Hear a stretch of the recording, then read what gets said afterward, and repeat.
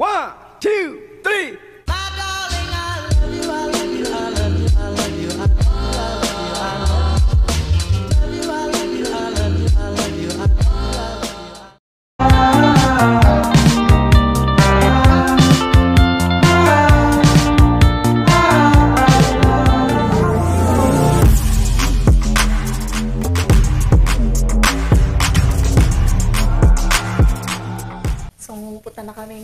Ng Basdaku White Beach.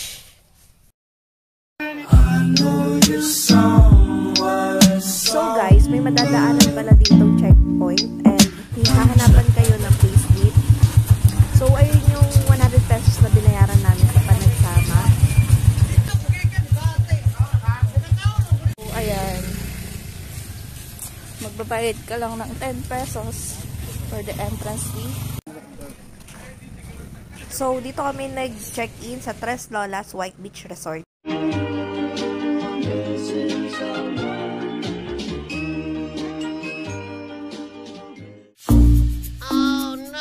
So, tulog na naman siya. She's a Mona Lisa. Seriously, what the fuck are you doing? So, dahil nagising na siya, naglakad-lakad muna kami.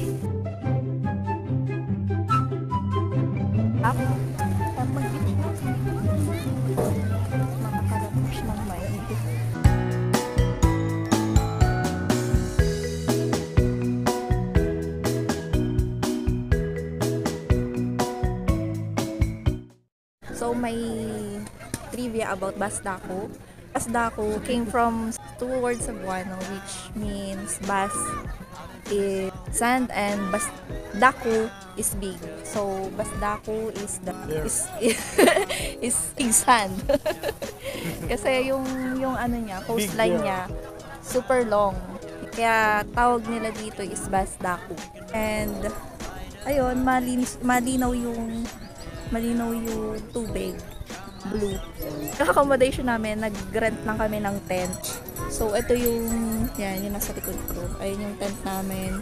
Ngayon kami lang yun nandito na pagmamayari ni Sir Florent. And ayun, sobrang bait din ni Sir.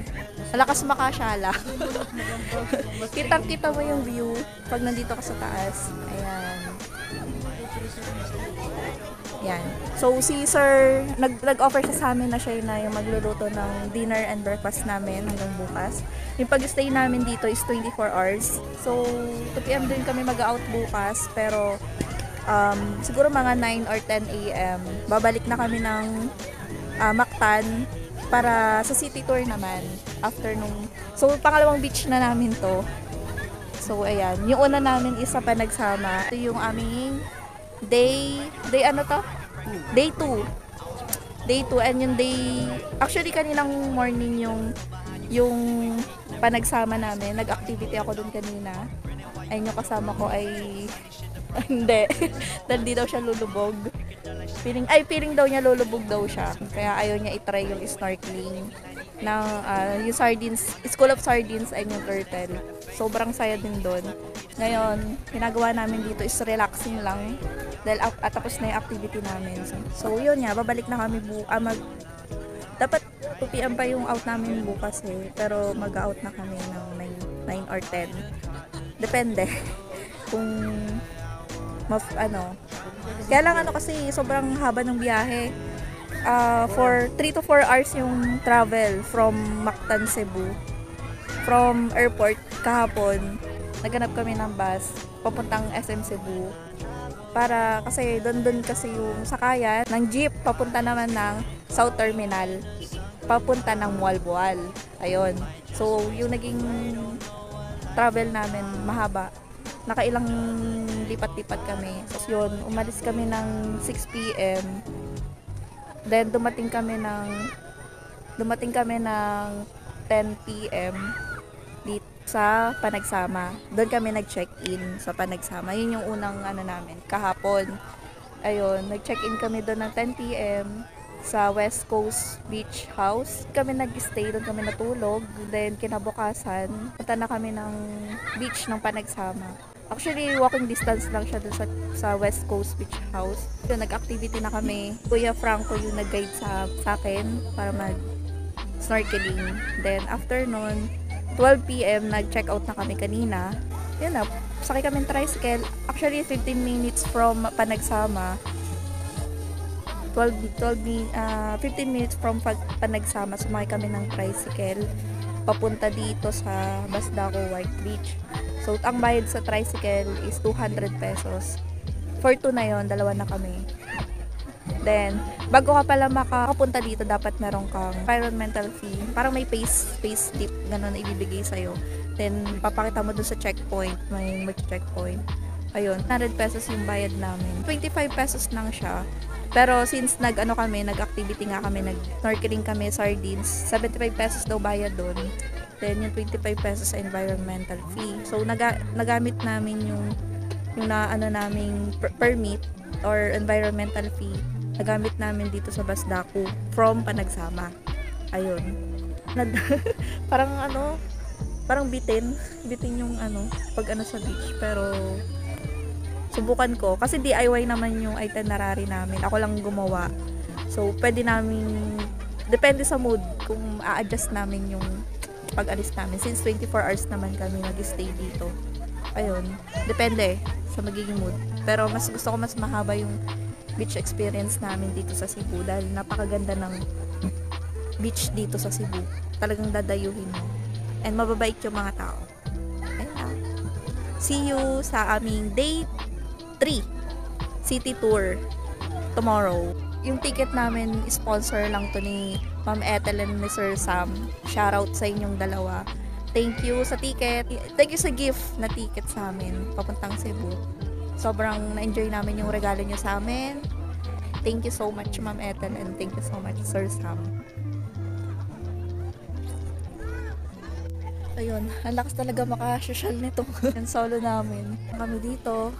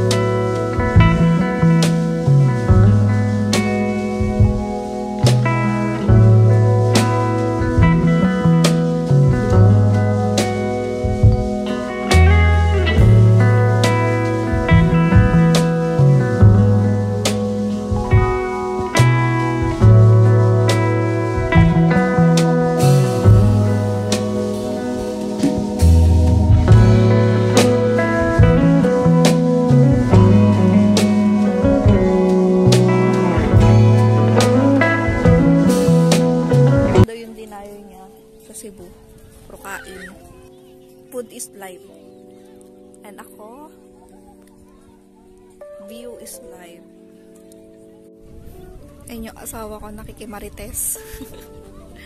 Ayan, inopen na nila yung ilaw. Sobrang ganda talaga dito. Worth it talaga yung 800 pesos namin. 800 pesos lang. Solo namin yung ano. Kasi, yun nga, bago pa lang daw. Pero sobrang worth it.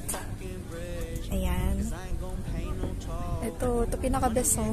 Kita mo yung ano. Kitang-kita mo yung view. Basta hanapin nyo lang tong Trees, Lolas, Beach Resort. Basta pag may nakita kayong ganito, ayan. Siya lang ata yung nag-iisang may ganito dito. Ayun. Dito na kayo mag-stay. Pwede kayo mag-cottage. Pwede kayong mag-tent. Ayan. Meron, dun, meron din doon sa ano. Tapos meron din ganito. Wait. Baba ako.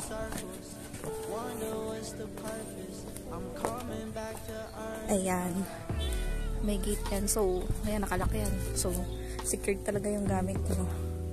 And dyan, may ganito pa sila. Pwede kayong kumain dito, uminom. Ayan, cottage. And then, may ilaw din naman paggabi na. Yan. So, punta lang kayo doon.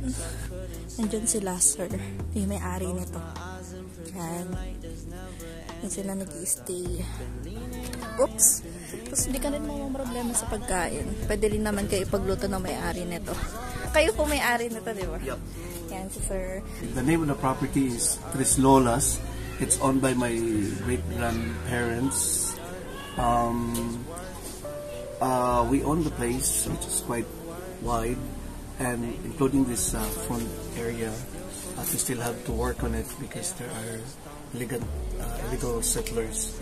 But we just acquired this uh, four months ago, and soon to develop a lot of you know developments, like more rooms, and uh, so that we can accommodate all the customers coming in. And so far, all, that's all what we have here. And I hope you will enjoy your stay. Yes, sir. Gusto ko yung spot doon. Kitang-kita mo yung view. Yeah. Ayun. And then you can see the entire stretch of the Yes, sir. and if only the, it's high tide, you can see the sandbar mm. in front of our resort, Yeah, which will come maybe later. We are in the center of the, the White Beach. We are just beside the HK, which is very famous, mm. the HK, and we're just right after the the entrance. It's easy to, to come here. All you have to do is just come to Sabed Ramualboal Sabi. and look for Tres Lolas Ayan. uh, near next to Etski Resort. Guys, ano oras na? Pakita mo yung relo mo. Ah, yung cellphone. 6.12 p.m. na, pero ganito pa rin siya kaliwanag. Hindi yan. Gabi na. Gabi na, pero ganito pa rin kaliwanag. Ma-enjoy mo pa rin yung view. Ayan. Grabe. Pa- parang ano, ayaw ka na mag-end tong araw na to. Ganda. So, punta na kayo dito guys. Mag-set up na kami ng chill-chill time namin. Moment together. Together with my moody, mo- moody husband. Ikaw, tatang pa ba yun? Pagkulat, pagkulat daw, ano yung moody? Totoo ba yun? Tama, moody na naman siya. oh. Nagalit na naman. Ayan. Chill time. Sarap po. Tapos ganito yung view. Tapos, ah. yun na yun na yun na yung naging ano, reaction. Ayan. Ganyan, no? O, di ba?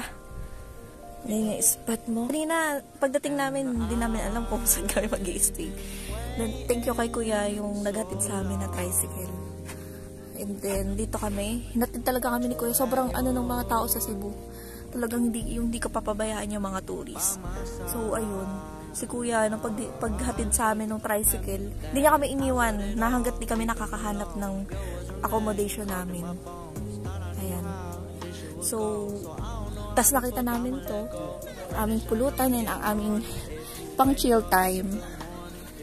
Chill. Habang pinag-uusapan ng mga bagay-bagay, problema namin sa isa't isa. Charot. Pansamantalang kalimutan ng toxic world. so, relax. Drink and relax. Thought This shit would go. So I don't know how the fuck I'ma let go. Rain and shine, I'ma get money. If you wake up, that's a good morning. Yeah, faces all around me, they yawning. And I'ma smile back if we honest, but.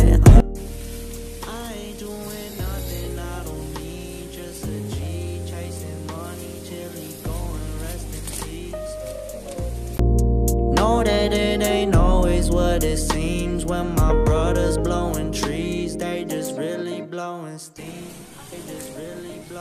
Good morning. Pagising mo, ito yung makikita mong view.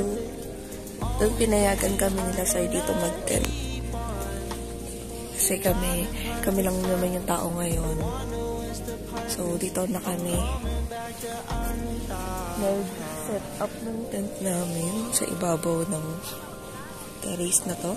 Kami tapos, pagis, pagising mo, makikita mo.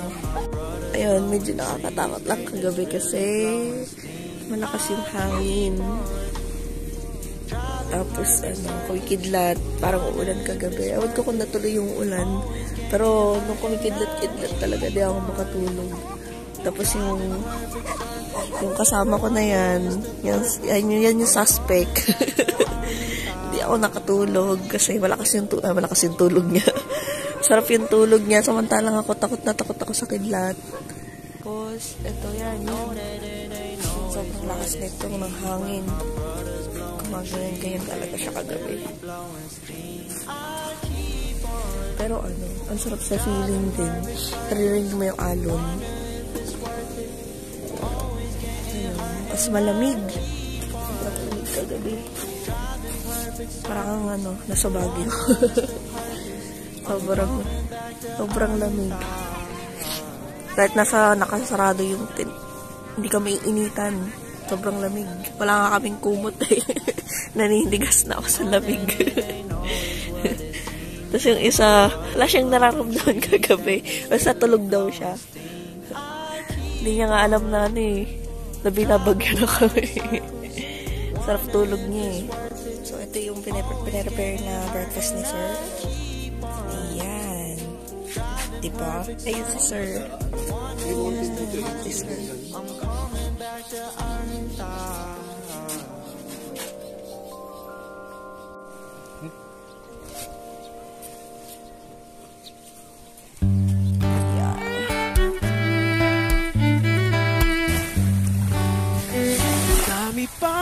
Gustong sabihin Ngunit wag na lang muna Hintayin na lang ang hangin Tangayin Sobrang linaw ng tubig. Diba? Kitang-kita mo yung ilalim. Pagminahal ang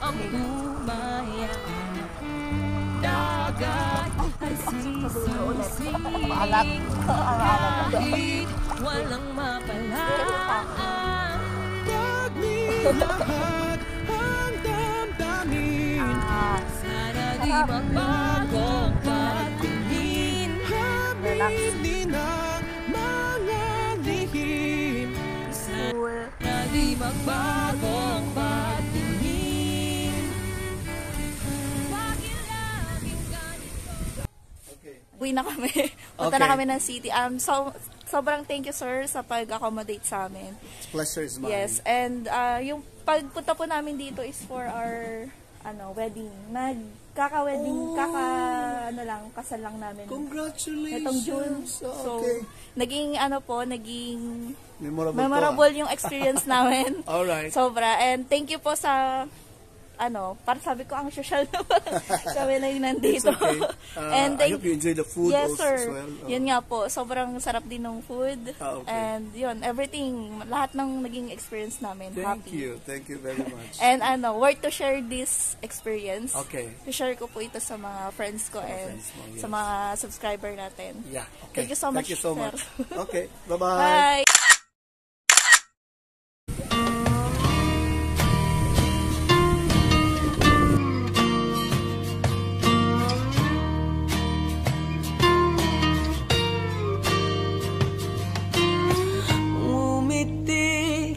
kahit na napipilitan Kahit So, pauwi na kami.